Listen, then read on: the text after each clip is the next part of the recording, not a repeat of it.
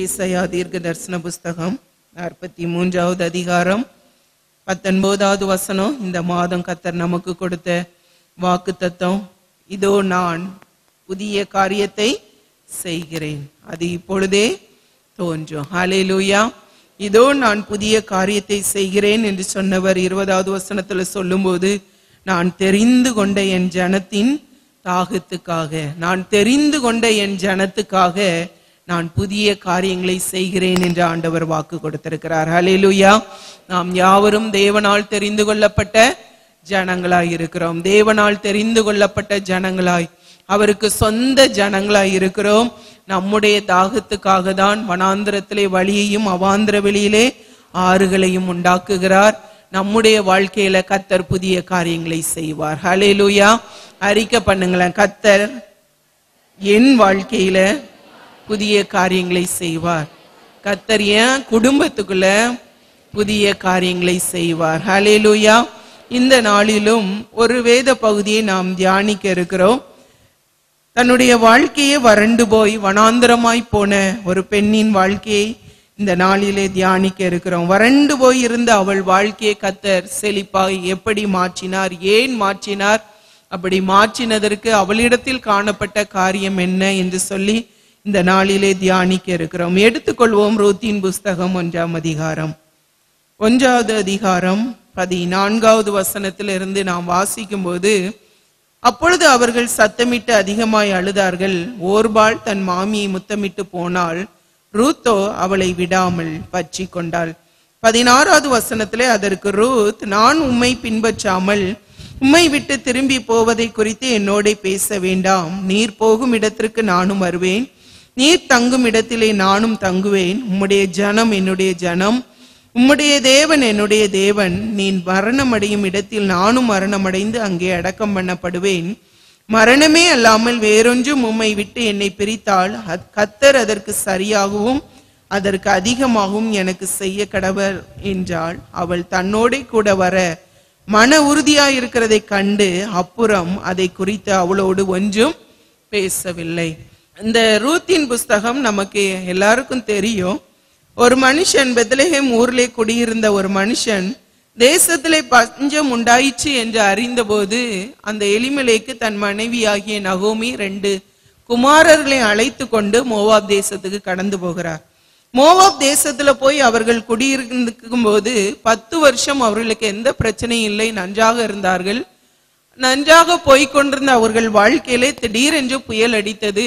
நகோமி ரெண்டு பிள்ளைகளையும் தன் கணவனையும் இழந்து தனித்தவள் ஆனாள் தனித்திருந்த அந்த சூழ்நிலையில அவள் ஒரு காரியத்தை கேள் குறித்து கேள்விப்படுகிறாள். கத்தர் தன் ஜனங்களை சந்தித்து அவர்களுக்கு ஆகாரம் அளி அரு- அருளி செய்தார் என்ற அந்த செய்தியை கேட்டபோது அவள் தன் தேசத்திற்கு போகும்படி தன் இரண்டு மருமக்களோடு எழும்புகிறாள். அப்படி எழுந்தபோது ஒரு காரியத்தை சொல்லுகிறாள். ரெண்டு பிள்ளைகளையும் பார்த்து நீங்கள் உங்கள் தகப்பனாரிடத்திற்கு போங்க. நான் நிறைவுள்ளவளாய் வந்து இப்போ வெறுமையா திரும்பி போய்கின்றிருக்கிறேன்.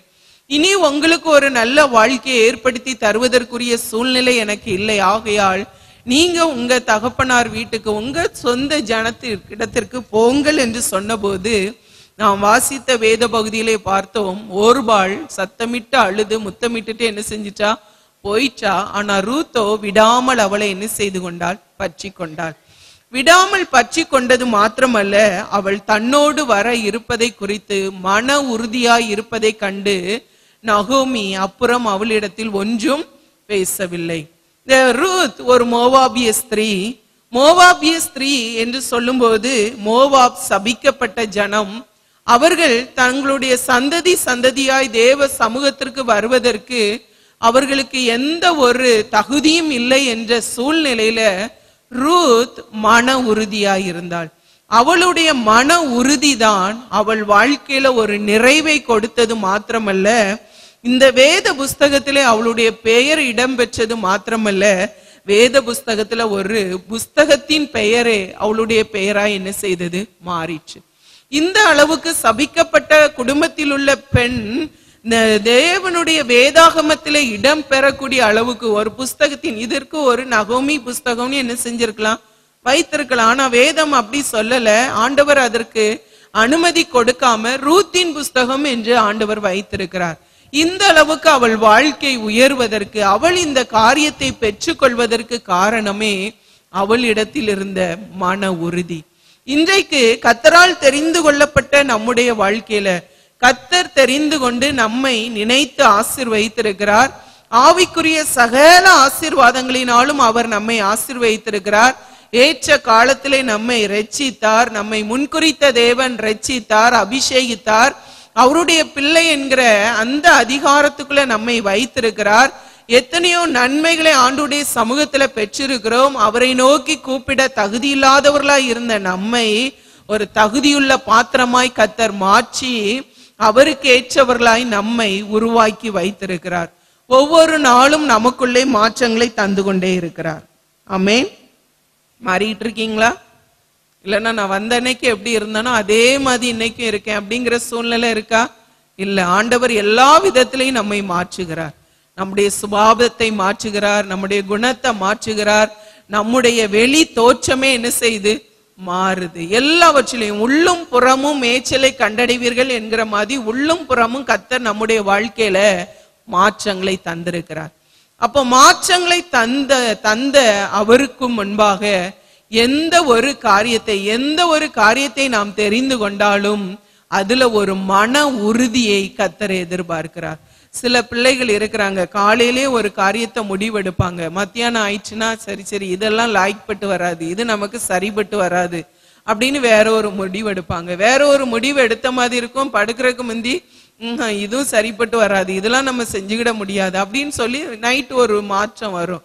அது காலையில பார்த்தா அது வேற ஒரு மாற்றம் இருக்கு. இப்படி மாறி மாறி தீர்மானம் எடுக்கிற மாறி மாறி முடிவெடுக்கிற நபர்களா இராதபடி என்ன ஒரு முடிவு எடுக்கிறோமோ அதுல கடைசி வரைக்கும் உறுதியா இருக்கணும். வேதத்துல நாம் வாசிக்கிறோம் ஒரு நாளும் முன்வைத்த கால பின் வைத்து விட கத்தர் தான் தெய்வம் இயேசுதான் தெய்வம் அவர்தான் வழி அவர்தான் சத்தியம் அவர்தான் ஜீவன் என்பதை அறிந்த பிற்பாடு ஒரு நாளும் முன்வைத்த காலை பின்வைத்து விட கூடாது. க- எத்தனையோ சத்தியங்களை ஆண்டவர் நமக்கு கற்றுத் தருகிறார் எத்தனையோ முறை தேவ சமூகத்துல நாம் தீர்மானம் எடுக்கிறோம். எடுக்கிற தீர்மானத்துல சாகுற வரைக்கும் எப்படி இருந்துடணும் உறுதியா இருக்கணும். அந்த ஒரு மன உறுதி யாருக்குள்ள இருக்கோ அவங்க வாழ்க்கையில புதிய காரியங்களை பெற்றுக்கொள்ள முடியும். மாறி மாறி நேரத்துக்கு நேரம் புத்தி மாறுது. சில நேரங்கள்ல குடும்பங்கள்ல சொல்லுவோம் நேரத்துக்கு நேரம் புத்தி மாறும் அவனுக்கு அப்படின்னு சொல்லுவாங்க. நேரத்துக்கு நேரம் புத்தி மாறக்கூடாது. நாம் எடுக்கிற தீர்மானம் ஈஸியா ஒரு முடிவு எடுக்கக்கூடாது. முடிவு எடுத்துட்டோம்னா சாகுற வரைக்கும் அதுல என்ன செய்யணும்? உறுதியா இருக்கணும். வா வருஷத்துல முதல் நாள். ஆண்டவரே இனி நான் ஒவ்வொரு நாளும் உனமக்கு முதலிடம் உமக்கு ஒவ்வொரு நாளும் ஒவ்வொரு மணி நேரத்தை உமக்கு தருவேன். ஒரு நாளைக்கு பத்து அதிகாரம் வாசிப்பேன் அப்படின்னு சொல்லி அகலக்கால் விரிக்காம நிதானமா முடிவெடுக்க பழகணும். முடிவெடுத்துட்டு அதெல்லாம் முடியாது. எனக்கு நேரம் இல்லை. எனக்கு செய்யணும்னு ஆசை தான் ஆனால் என்னால் முடியலை. அப்படி அல்ல. ஒரு முடிவுன்னு எடுத்துட்டா அதில் கடைசி வரைக்கும் மு- தீர்மானமாக என்ன செஞ்சிடணும்? உறுதியாக நிற்கணும் அப்போ நாம் எடுக்கிற ஒவ்வொரு முடிவும் நம்முடைய வாழ்க்கையை மாற்றும். சொல்லுங்க. நீங்க எடுக்கிற ஒவ்வொரு முடிவும் உங்க வாழ்க்கையை என்ன செய்யும்? மாற்றும். நீங்க எடுக்கிற ஒவ்வொரு முடிவுலையும் நல்லதும் நல்லதாகவும் அமைய முடியும் கெட்டதாகவும் அமைய முடியும். ஆனா கத்தருக்குள் ஒரு முடிவை எடுப்பீர்களானால் அந்த முடிவை கத்தர் ஆசீர்வாதமாக மாற்றி தருகிறவராய் இருக்கிறார். அப்போ நம்முடைய வாழ்க்கையில நாம் எடுக்கிற காரியத்துல ஒரு மன உறுதியை கத்தர் நமக்கு என்ன செய்யணும்? தரணும். எலியாவை பின்பற்றின எலிசாவை குறித்து நாம் ரெண்டு ராஜாக்களின் புஸ்தகம் ரெண்டாம் அதிகாரத்துல நாம் அங்கே பார்க்கிறோம். எலியா அவன் அவனுக்கு ஒரு கடைசி நேரம் வருகிறது. இப்போ சொல்லுகிறான் எலிசாவை பார்த்து கத்தர் என்னை கில்கால் மட்டும் அனுப்புகிறார். என் நீ இங்கே இரு அப்படின்னு சொல்லும்போது எலிசா சொல்லுகிறார் இல்லை இல்லை நான் உண்மை என்ன செய்வேன்? பின் தொடர்ந்து வருவேன். நீர் எங்க போனாலும் உண்மை பின் தொடர்ந்து வருவேன் என்று சொல்லி எலிசா பின் தொடர்ந்து போகிறார்.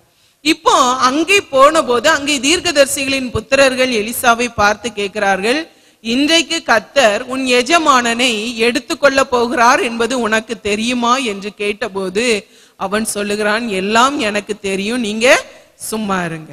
திரும்ப எளியா சொல்லுகிறார் நீ இங்கே இரு நான் பெத்தேல் மட்டும் போகிறேன் கத்தர் என்ன அவ்விடத்துக்கு அனுப்புகிறார் என்று சொன்னபோது எலிசா சொல்லுகிறார் நானும் பெத்தேல் என்ன செய்வேன்? வருவேன். அங்கேயும் தீர்க்கதரிசிகள் புத்திரர்கள் கேட்கிறாங்க இன்னைக்கு உன்னுடைய எஜமான் உன்னை விட்டு எடுத்துக்கொள்ளப்படுவார் தெரியுமா? எல்லாம் எனக்கு தெரியும். நீங்க சும்மா இருங்க. திரும்பவும் அவன் சொல்லுகிறான்னா பெத்தேல இருந்து தொடர்ந்து கத்தர் என்னை எரிகோவுக்கு அனுப்புகிறார் நான் போறேன். அங்கேயும் போகிறான். அங்கேயும் தீர்க்கதரிசி புத்திரர்கள் அவனை பார்த்து சொல்லுகிறார்கள் என்ன சொன்னாலும் சரி யார் என்ன சொன்னாலும் சரி என் எஜமானை பின்பற்றுவதை விட்டு நான் விலக மாட்டேன் என்பதுல மன உறுதியா என்ன செய்தான் இருந்தான். தொடர்ந்து பின்பற்றினான். பின்பற்றி யோர்தானையும் கடந்து போகிறார்கள்.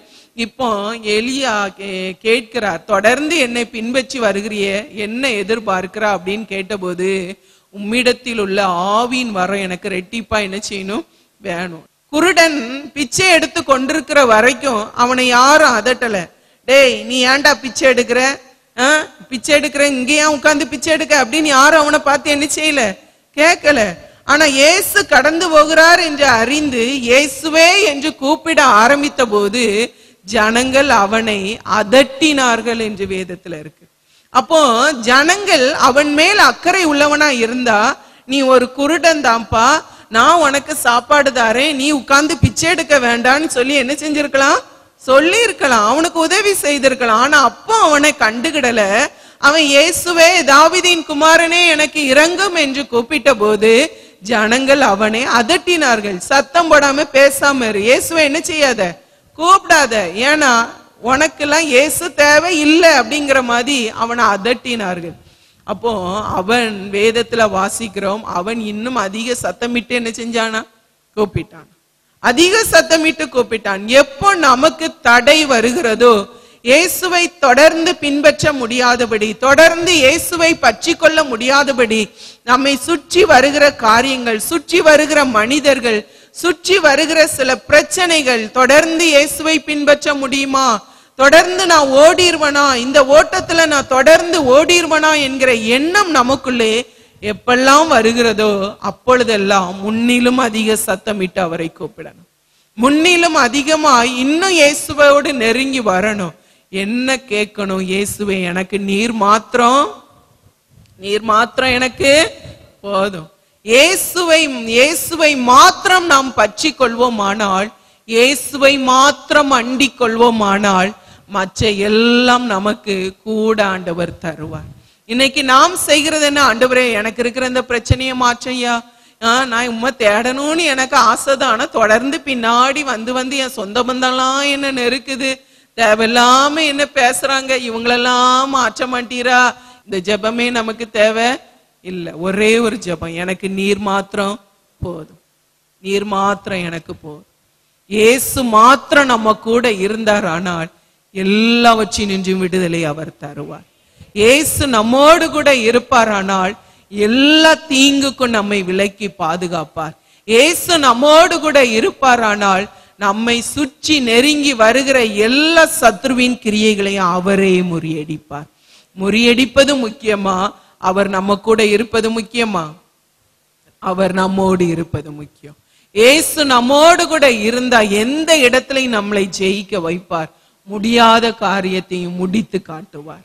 அப்ப இன்றைக்கு நமக்கு தேவை எப்படி எலிசா ஆவியின் வரம் எனக்கு ரெட்டிப்பாய் வேண்டும் என்று கேட்டானோ அதே போல இன்றைக்கு நாம் கேட்க வேண்டியது என்னன்னா ஆண்டவரே எனக்கு நீங்க தான்ப்பா தேவை. என் வாழ்க்கையில எனக்கு நீங்க தான் தேவை.